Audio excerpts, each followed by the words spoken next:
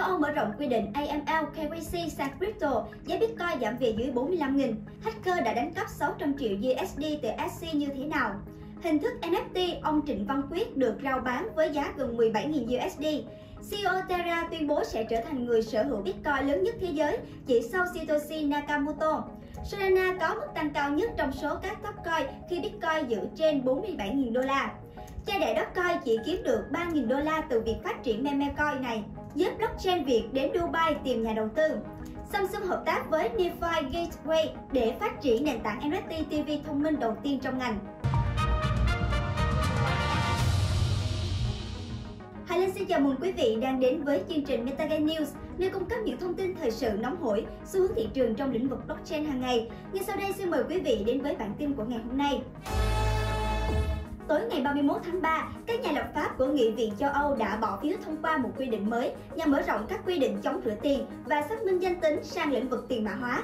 Cụ thể, quy định sẽ áp đặt các quy định AML đối với những giao dịch crypto có trị giá từ 1.000 euro trở lên. Bên cạnh đó, luật cũng yêu cầu xác minh danh tính những người gửi và nhận trong các giao dịch tiền mã hóa kia, bất kể là qua ví tiền lưu ký, ví của sàn trên đơn vị thanh toán hay ví phi lưu ký do người dùng tự nắm giữ private case. Quy định mới được cho sẽ là giết chết quyền riêng tư khi tham gia giao dịch crypto của người dùng tại châu Âu, biến tiền mã hóa trở thành một thứ không khác gì những giao dịch tài chính truyền thống thường ngày, dễ dàng bị chính quyền suy xét và theo dõi. Đây là quy định crypto gây tranh cãi thứ hai được EU mang ra thảo luận trong thời gian gần đây sau đề xuất cấm các đồng tiền sử dụng cơ chế Proof of Work đã bị bác bỏ. Đã có nhiều nhân vật nổi tiếng trong ngành crypto đã đưa ra phát ngôn phản đối quy định trên. Thị trường tiền mã hóa đã có phản ứng tiêu cực trước thông tin trên khi giá Bitcoin đã liên tục giảm mạnh về tận 44.200 USD chỉ ít ngày sau khi lập đỉnh của năm 2022 tại 48.189 USD. Dự án altcoin lớn này cũng ghi nhận mức điều chỉnh từ 48%. Việc cầu nối Ronin Bridge bị hacker tấn công, chiếm đoạt hơn 600 triệu USD là một sự kiện lớn của giới làm blockchain và bảo mật Việt Nam. Các chuyên gia của lĩnh vực bảo mật chuỗi khối trong nước chỉ ra có nhiều vấn đề với cầu nối Ronin của SC Affinity khiến nó trở thành mục tiêu tấn công của tin tặc.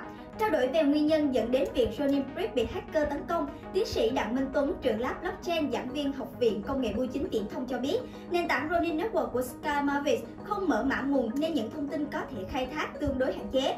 Theo ông Tuấn, các giao dịch của Ronin Network sử dụng cơ chế đồng thuận Proof of Authority với 9 nút. Theo đó, mỗi giao dịch trên hệ thống sẽ được thông qua với 5 trên 9 chấp thuận, cung cấp chữ ký số. Việc sử dụng ít nút xác thực, thiếu yếu tố vì tập trung của Sky Mã Việt tạo cơ hội cho hacker tấn công và lấy đi hơn 600 triệu USD từ cầu nối của Ronin Network. Theo các thông tin được Ronin Network cung cấp, nền tảng đang nghi ngờ hacker đã tấn công vào hệ thống của Sky Mã Việt để chiếm quyền truy cập bốn nút công ty nắm giữ. Nút thứ năm có thể được lấy từ ACDAO, được IC cấp quyền để hỗ trợ nền tảng khi lượng giao dịch quá tải. Bên cạnh đó, ông Trần Xuân Bắc, chuyên gia bảo mật tại VBI cho rằng còn có sự tách trách trong việc bảo mật của Sky Mavis bởi việc ủy quyền xác minh cho nước ACDAO đã ngừng từ tháng 12 năm 2021 nhưng đến nay vẫn chưa được thu hồi. Bổ sung vào ý kiến này, tiến sĩ Đặng Minh Tuấn cũng đã cho phía Sky Mavis Việt đã chậm trễ trong việc phát hiện lỗi hệ thống. Nhiều hình ảnh ông Trịnh Văn Quyết, cựu chủ tịch F. FLC, được bán dưới dạng NFT trên nền tảng OpenSea với giá hàng nghìn USD nhưng chưa có người mua. Trên nền tảng giao dịch OpenSea, chủ sở hữu có tên AFE NFT đã tạo ra NFT có hình cựu chủ tịch FLC Trịnh Văn Quyết. Bức hình này được bán với giá 5 ETH tương đương gần 17.000 USD. Ngoài ra, người tạo ra NFT này không đề cập gì về phần mô tả. Theo thông tin trên nền tảng, tài khoản AFE NFT mới chỉ tham gia trong tháng 3 và có 4 hình NFT khác lấy cảm hứng từ For Apple. NFT hình ông Quyết có giá cao thứ ba trong bộ sưu tập của tài khoản này. Bên cạnh đó, hàng loạt NFT khác có liên quan đến ông Quyết cũng xuất hiện trên nền tảng OpenSea, nhưng đa phần không có thông tin giá.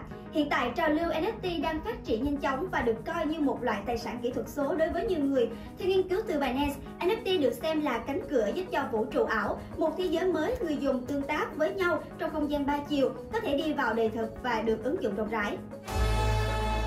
Nhà sáng lập blockchain Terra vừa có tuyên bố gây chấn động rằng ông có kế hoạch tiếp tục mua thêm Bitcoin để tích lũy cho đến khi số lượng BTC dự trữ của nền tảng chỉ đứng sau cha đẻ Bitcoin Satoshi Nakamoto.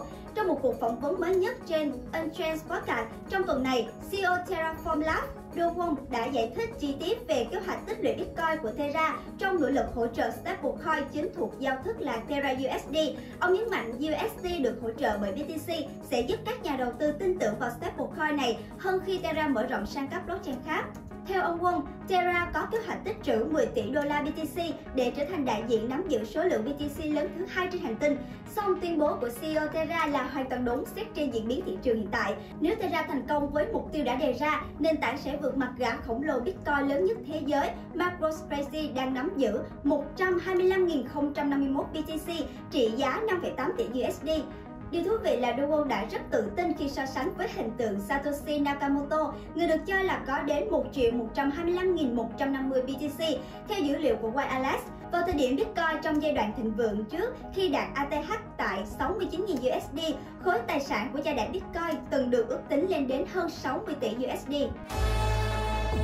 Đồng xoay của Solana đã mang lại lợi nhuận cho các nhà đầu tư sau đà tăng mạnh từ đầu tuần này. Thị trường tiền điện tử đã tăng 0,7% trong 24 giờ qua với sự tăng trưởng mạnh mẽ của các đồng có vốn hóa thị trường từ 1 tỷ đô la đến 5 tỷ đô la. Mức tăng đứng đầu trong các top coin là của Sol tăng 14% lên 128 đô la trong 24 giờ qua, đạt mức cao nhất trong 2 tháng, gần mức kháng cự 130 đô la. Ether vẫn giữ nguyên ở quanh mức 3.410 đô la. Với mức đó, Binance và XRP cũng sideways. Đồng AVAX đã tăng 7% khi hội nghị thượng đỉnh Avalanche ở Barcelona kết thúc vào tuần này.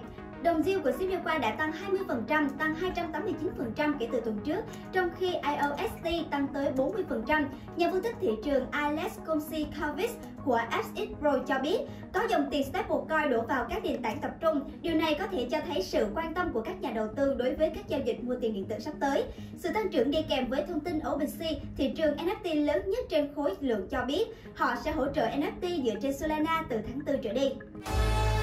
Julian Marcus đã tiết lộ chính xác số tiền mà bản thân kiếm được thông qua việc phát triển tài sản mang tính biểu tượng thu hút hàng nghìn, thậm chí là hàng triệu người dùng mới vào ngành tài sản kỹ thuật số. Theo dòng tweet gần đây nhất của mình, Marcus đã trải lòng về các cáo buộc quá vô lý của công chúng dành cho những người có tầm ảnh hưởng và nhà phát triển. Lý do là một bộ phận nhà phát triển đang kiếm được hàng nghìn hàng triệu USD bằng các dự án scam, trong khi việc tạo ra đồng coin có 80 tỷ USD, vốn hóa thị trường chỉ mang về cho anh 3.000 USD. Sau một loạt các cuộc tấn công từ những người có tầm ảnh hưởng, Marcus đã trở thành nạn nhân của những người dùng thường xuyên, những người có nhiều khả năng nắm giữ đồng niêm đầu tiên nhưng vẫn đang chờ một đợt tăng giá mạnh để bán số tiền nắm giữ của họ với lợi nhuận lớn mà không cần đóng góp. Chúng ta có thể hiểu sự thất vọng của cộng đồng vì hiệu suất giá của Dogecoin trong 150 ngày qua rất tiêu cực. Tiền điện tử này đã mất hơn 30% giá trị và hơn 80% so với mức cao nhất mọi thời đại. Binance Blockchain Week là sự kiện lớn của lĩnh vực công nghệ chuỗi khối, tiền mã hóa. Việt Nam từng đăng cai tổ chức tuần lễ này vào ngày năm 2018. Năm nay, Binance Blockchain Week được tổ chức tại thành phố Dubai. UAE là một thị trường mới nổi, có sự quan tâm lớn cho lĩnh vực blockchain. Hàng trăm người Việt cũng có mặt tại Dubai để dự sự kiện Binance tổ chức. Đây là sự kiện chính, Hội thảo Việt Nam Blockchain Explorers cũng quy tụ hơn 200 kỹ sư công nghệ, doanh nhân và chuyên gia hoạt động trong các lĩnh công ty ứng dụng blockchain của Việt Nam tham gia. Ngoài ra, theo chia sẻ của đại diện Binance, tại hội thảo này có hai dự án GameFi của Việt Nam thuộc top 10 dự án blockchain thuộc lĩnh vực game NFT doanh thu cao nhất hệ sinh thái. Đó là GameFi Titans Arena và Fairland đại diện GameFi Titan Arena cho biết, người tham dự Blockchain Week ngoài theo dõi các phiên thảo luận, thuyết trình là nơi những dự án non trẻ tìm kiếm nhà đầu tư. Ngược lại, đại diện các quỹ đầu tư cũng săn tìm cơ hội đầu tư ở vòng mua sớm, private sale và vòng seed của các dự án tiềm năng. Theo Nguyễn Tuấn Hưng, CEO Fairland, mục tiêu khi tham dự sự kiện tại Dubai là để kết nối với các dự án. Guys, nhà đầu tư và có nhiều ý tưởng mới cho việc sáng tạo của mình. Chia sẻ quan điểm về vấn đề này, ông Hoài Nam từ USB Holding cho biết, ở ngành nghề nào, việc tô vẽ cũng có thể xảy ra. Do đó, nhà đầu tư nên tập trung vào sản phẩm và lộ trình phát triển của dự án thay vì hình ảnh trên mạng xã hội.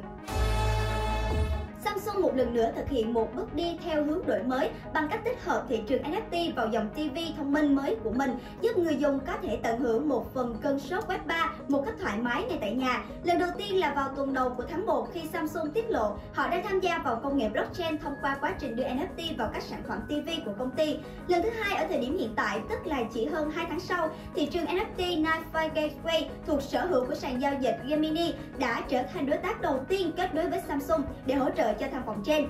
Sự hợp tác hướng đến mục tiêu phát triển nền tảng NFT TV thông minh đầu tiên để khám phá, mua và kinh doanh những tác phẩm NFT nghệ thuật.